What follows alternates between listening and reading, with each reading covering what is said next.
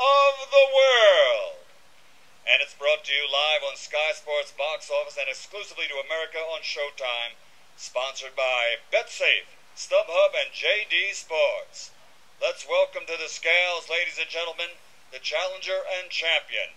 First up, the challenger. Undefeated as a professional, 21 fights, 21 victories, 18 by knockout.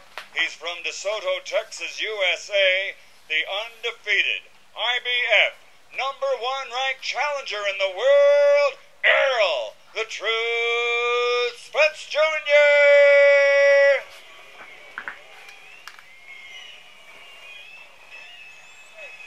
Might expect no surprise that Errol, the Truth Spence Jr.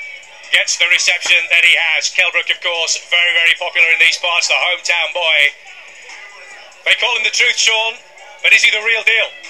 I think he certainly is the truth. Uh, he has a lot of abilities. He's been fighting since he was a kid. He's wanted this moment since he was a kid. So I think something special could happen tomorrow night. What does he have to do?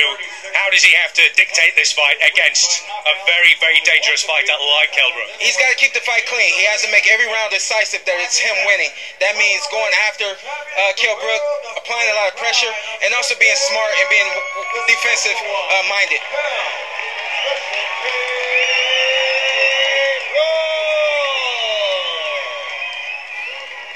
And just listen to the roar as the local boy makes his way out onto the scales. All of the lights blaring on the speakers, and a tremendous reception for Kell Brook. Thousands have turned out here in Sheffield in the sunshine. Undefeated as a professional, 21 fights, 21 victories, 18 by knockout. Ranked number one in the world by the IBF. Errol, the truth, Spence Jr. So the challenger, the first man on the scales. The welterweight limit, of course, 10 stone 7, 147 pounds. There has been an awful lot of talk as to whether or not both of these fighters are going to be able to make that limit. Here we go.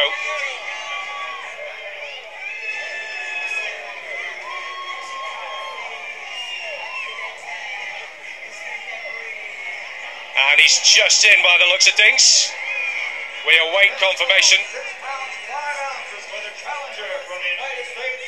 Errol Jr. So Errol Spence nicely inside the welterweight limit.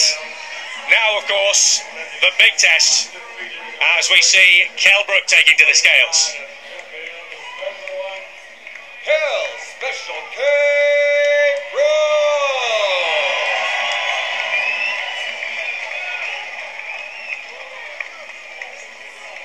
Well, certainly in terms of his physique, he looks incredible. That is no surprise.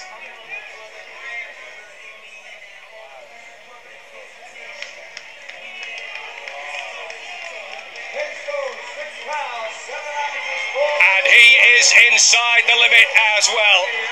So all the questions have been answered. Both fighters have managed to come in inside the welterweight limit. and they both look look really well. Up to this fight, I thought the weight was going to be a massive issue uh, for Kel.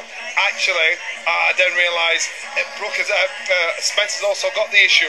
But these two guys are big welterweights, big units. Wait till they've refueled. Wait till tomorrow night. They'll both look at a size above them. They'll both look like Stoke middleweights, you know, because these guys have got a big frame. But this is now about skill.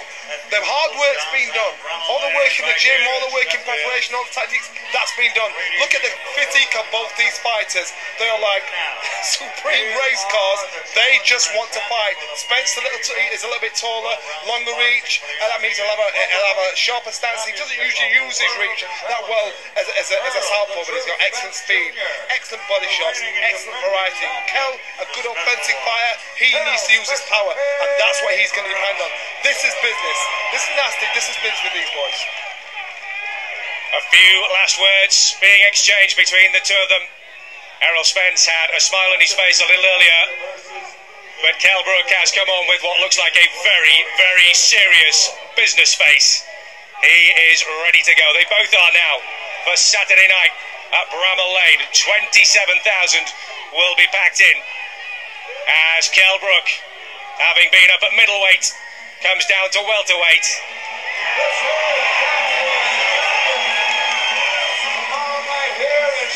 And one last roar of the crowd as Kell Brook excites and delights his fans ahead of what should be a terrific fight here on Saturday night. Sean, you had a good look at both of them on the scales. What did you make of just how ripped and ready these guys look? I saw exactly what I hoped to see, what I thought I would see. Both guys are ready. When they're ready, that means they're both going to perform at their best, and uh, they're going to pull it all out of each other tomorrow night. This is going to be a great fight. Hard to choose a winner. Both guys have it in them to win this fight. I'm looking forward to it. Errol Spence looks very relaxed now with a big smile on his face as the two of them started with the head to head shot.